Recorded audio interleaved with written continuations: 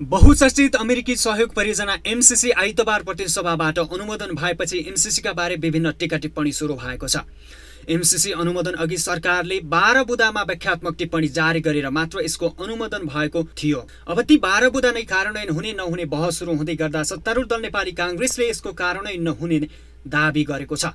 काङ्ग्रेसले पत्रकार सम्मेलन मार्फत एमसिसीलाई पत्र पठाइने र प्रश्नको जवाफ आएपछि मात्र एमसिसी कार्यान्वयनको दिशामा अघि बढ्ने बताएको हो।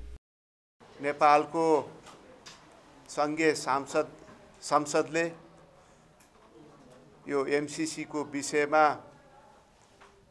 जुन अफवाह भ्रम र दुविधा आम जनमानसमा परेको थियो त्यसलाई चिर्दै बृहत्तर सहमतिका साथ एमसिसी अन्तर्गत जुन अमेरिकी सरकारबाट प्राप्त हुने विकास अनुदान सहयोगलाई अनुमोदन गर्ने निर्णय गर्यो।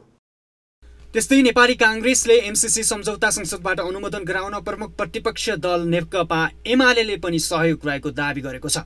त्यसो त एमसिसी अनुमोदनको प्रक्रिया हुन्छ वा हुँदैन केही पनि एमाले भनेन गएको भदौ तेइस पछिको निरन्तरता स्वरूप एमाले संसदमा अवरोध जारी राखेको थियो। काङ्ग्रेसका अनुसार यदि एमसिसीमा एमाले मत जाहेर गरेको भए जे पनि हुन सक्थ्यो भन्दै काङ्ग्रेसले एमाले मत जाहेर नगर्नु नै एमसिसीमाथि सहयोग भएको उसको दावी हो। यो शुद्ध विकास सहयोग हो विकास परियोजना हो यसको अरू कुनै मकसद छैन। त्यो कुरालाई हामीले व्याख्यात्मक घोषणामा पनि उल्लेख गरेका छौँ। एमसिसीको मूल डकुमेन्टमा पनि त्यो स्पष्ट रूपमा उल्लेख छ शुद्ध विकास सहयोग हो।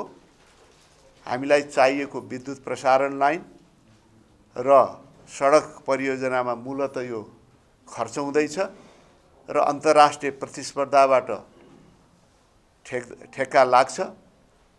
अनुदान सहयोगमा यस्तो हुँदैन थियो। जुन सहयोग हामीले अनुदान सहयोग लिँदै आएका थियौँ त्यहाँ त्यसरी अन्तर्राष्ट्रिय प्रतिस्पर्धाबाट ठेक्का लाग्दैन। ऋणमा समेत त्यही देशको ठेकदारलाई हामीले स्वीकार गर्दै आएका छौँ। काङ्ग्रेस प्रवक्ता महतले एमसिसी सम्झौता पारित गराउन सबै दलको सहयोग रहेसँगै सोबारे जनस्तरमा उठेको भ्रमहरूको पनि निवारण भएको विश्वास व्यक्त गरेका छन्। अहिले पनि एमसिसी बारे भ्रम जारी रहेको भन्दै यसलाई निवारण गर्न सबै लाग्नुपर्ने पनि जिकिर गरे। यो आयोजनाको सफलताले मलाई लाग्दछ स्वत यी तमाम भ्रमहरू नेपाली समाजमा सृजना भएको थिए। त्यो भ्रम आफसे आफ समाप्त भएर मलाई लाग्छ यो विकास र सहयोग सम्बन्धमा नयाँ अध्याय प्रारम्भ हुनेछ। अमेरिकी सरकारसँग मात्रै होइन कि अन्य सरकार र चाहिँ धातृ निकायहरूसँग पनि त्यो अध्याय प्रारम्भ हुनेछ। भन्ने मलाई लागेको छ।